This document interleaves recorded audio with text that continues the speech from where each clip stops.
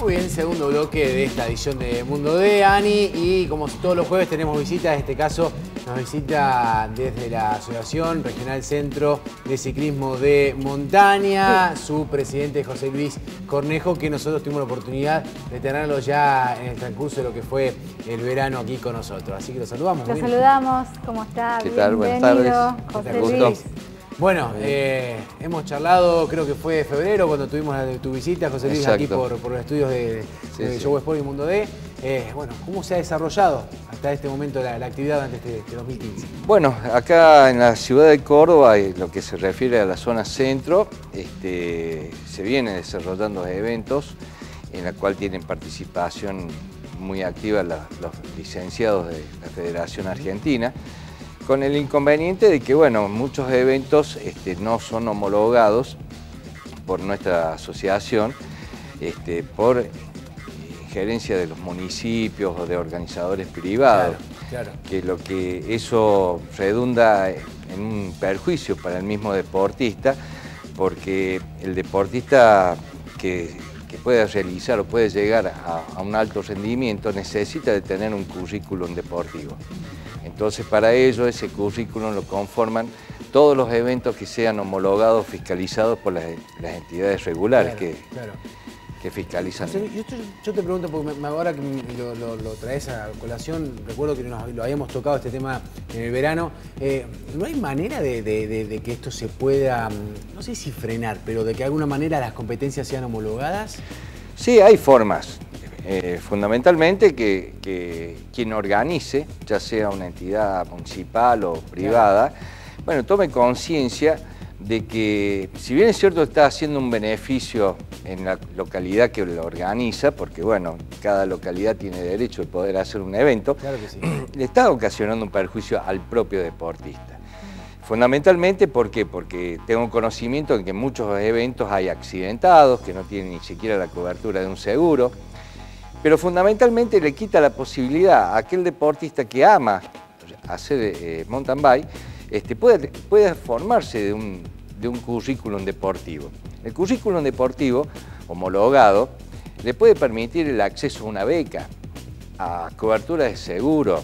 Este, hoy en día está, muy dinámico este, el tema de que se pueda defender los derechos de un deportista. Entonces, este, en vez, en vez del beneficio, si ponemos todo en una balanza, es más el perjuicio que el beneficio que puede tener. Hoy se toma nuestra disciplina como una cuestión de turismo y no como una cuestión deportiva. Entonces, bueno, eh, yo acudo a, las fuerzas vivas de, las provincias, de los municipios, a, los fines de que, bueno, tomen conciencia de que si todo no lo hacen por una cuestión de costo. El costo es mínimo.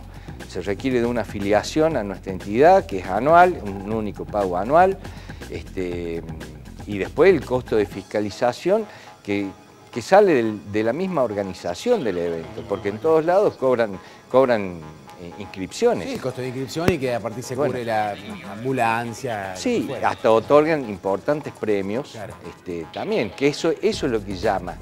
Es decir, una localidad para que tenga afluencia de deportistas pone, publica que hay cierta cantidad de dinero en efectivo este, o de premios y bueno, y eso le entusiasma al ciclista, ¿no es cierto? Totalmente. José Luis, para la gente que está viendo en la casa, ¿no? ¿Qué es lo que caracteriza a un competidor, a un deportista de mountain bike, de ciclismo de montaña? De los otros tipos de ciclismo, ¿no? Sí, bueno, el mountain bike es, una disciplina bastante completa, lo cual, este, si bien es cierto, a una bicicleta puede subir cualquier persona, lógicamente que si no tiene un cuidado específico para, ¿por qué? Porque es, eh, digamos, está la disciplina de descenso, por ejemplo, que es una disciplina de alto riesgo, pero la de mountain bike, este, que es más bien, digamos, cicloturística, si se quiere, este, bueno, requiere ciertos cuidados. Entonces obliga a que se suba en una bicicleta, a que se hagan los estudios, este, análisis, este, también si quiere ir progresando en lo personal, requiere que haga dietas alimentarias. Entonces, bueno, eh, Eso es lo importante, como toda disciplina deportiva. Es decir, tiene un régimen que, todo tiene que adaptarse para poder desarrollarse, ¿no es cierto? Y poder eh, desarrollar la especialidad en debida forma, ¿no?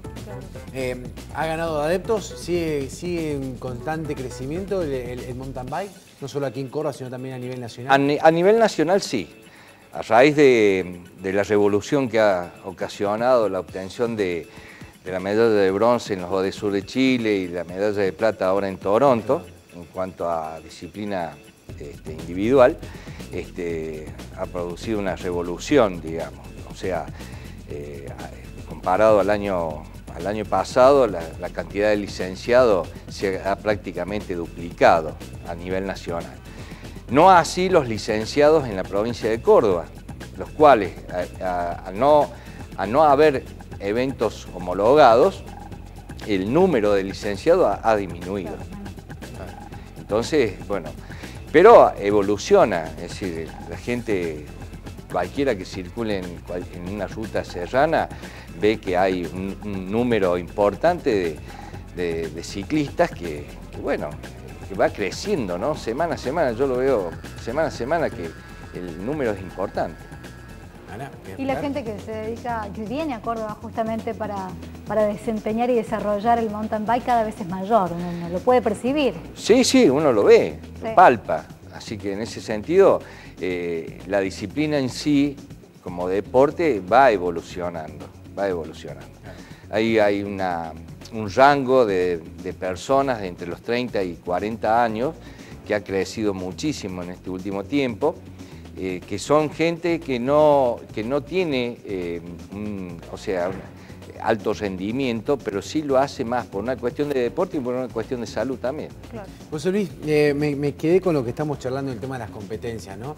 No es buscar responsables, pero eh, quizás el, ciclista o la, persona que inscribe una carrera eh, también es un poco responsable de, estar, de promover quizás a carreras que no son homologadas o que no tienen un control, en este caso, o fiscalización por parte de la asociación también.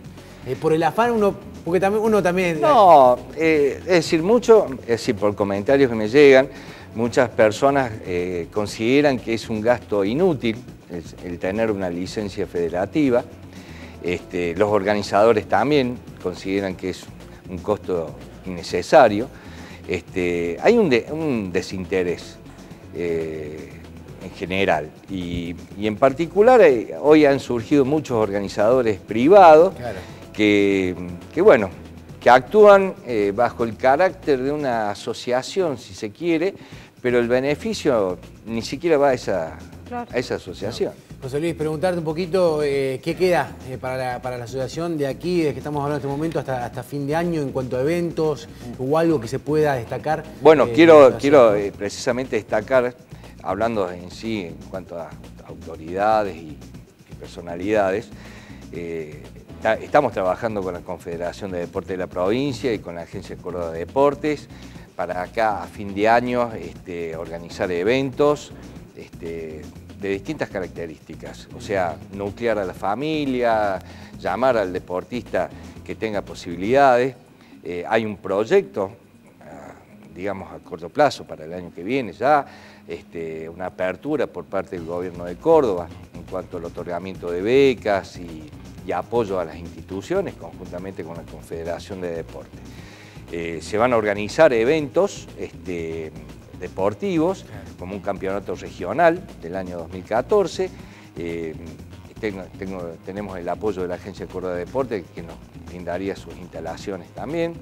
Este, eh, la, Confederación de Deportes está, está tratando en algunas localidades de poder organizar eventos homologados y fundamentalmente estamos, estamos logrando ya por primera vez la inserción del Centro de Alto Rendimiento de Córdoba para la selección argentina con mira a la preparación de los Juegos Olímpicos de Brasil y los Juegos Olímpicos de la Juventud en Buenos Aires 2018. Qué bueno, realmente muy bueno y me imagino que eso se va a activar dentro de poco también. Bueno, hay, hay un proyecto que, que me informó hoy el entrenador nacional que eh, cabe posibilidad de que se haga en diciembre un campus de, las categorías juniors, clase 2000-2001, en diciembre o en febrero del año que viene.